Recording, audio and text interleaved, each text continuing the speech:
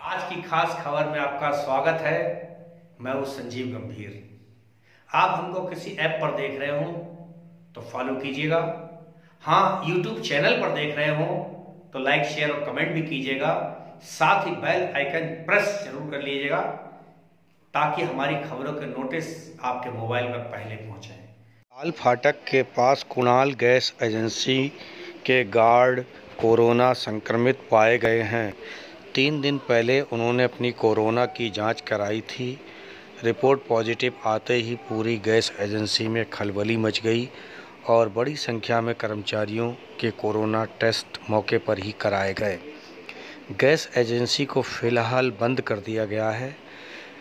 पूरे gas agency को sanitise कराया गया है। कर्मचारियों के सैंपल लेते हुए उन्हें हिदायत दी गई है कि वो घर के अंदर ही क्वारंटीन रहें। साथ ही आसपास के क्षेत्रों में भी को भी सैनिटाइज कराया जा रहा है। नाक और मुँह के ज़रिए सैंपलिंग की गई है। रिपोर्ट आने के बाद ही पता चल पाएगा कि बाकी कर्मचारी संक्रमित हैं या नहीं। यहाँ बताते चलें कि बरेली के अंदर कोरोना वायरस का संक्रमण दिनों दिन तेज होता जा रहा है। पहले कभी इक्का दुक्का ही केस पॉजिटिव निकलते थे, अब तो आए दिन 100 या 200 से ज़्यादा केसेस प्रकाश में आ रहे हैं। लगातार मौतें भी हो रही हैं। बड़ी संख्या में लोग कोरोना वायरस की चपेट में आकर अपनी जान गंवा चुके हैं। शायद ही कोई ऐसा सेक्टर बचा हो या क्षेत्र बचाओ जहाँ कोरोना के केसेस ना निकले हों। अखबार के संस्थानों के लोग भी संक्रमित हुए हैं। जुडिशरी, पुलिस, स्वास्थ्य, न्याय विभाग समेत बड़ी संख्या में सरकारी दफ्तरों के अंदर भी कोरोना वायरस का संक्रमण दिनों दिन फैल रहा है। कई इलाके कंटेनमेंट जोन घोषित किए जा चुके हैं, जहाँ पर बाँस बल्लियाँ लगाकर लोगों का आवाजाही प्रतिबंधित कर दी गई है।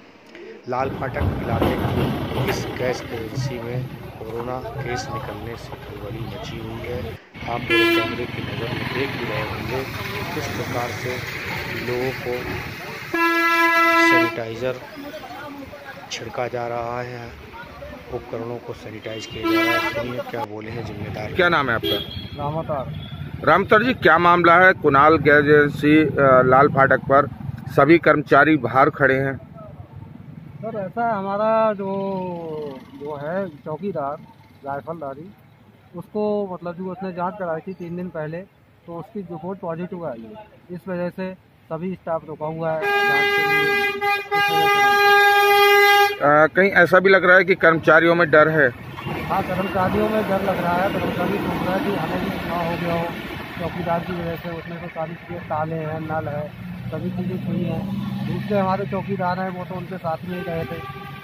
उनको भी डर है कि हमें भी ना हो। इसलिए वो लोग मतलब ये रुके आप यहाँ किस पद पर हैं? मैं गोदाम इंचार्ज